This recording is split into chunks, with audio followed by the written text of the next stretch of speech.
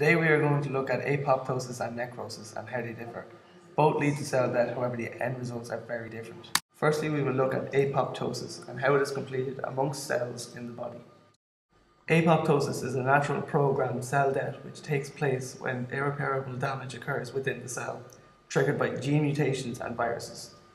Apoptosis follows a regulated cell death pathway. Enzymes known as caspases break down internal cellular components and propels the production of DNases, which will destroy DNA in the nucleus. The cell shrinks and sends out distress signals. These signals are detected by macrophages, which clean up cell debris. This will protect surrounding cells from harmful cell debris and enzymes, such as lysozyme, which will break down surrounding cell membranes. Now we'll talk about necrosis.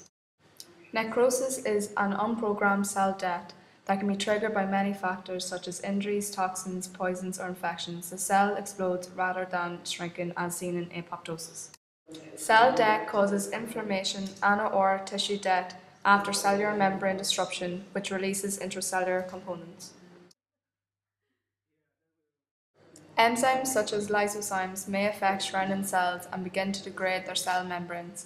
This release of cellular debris and intercellular components can cause distress to surrounding cells and the body. This can result in a cascade of harmful effects which will require treatment.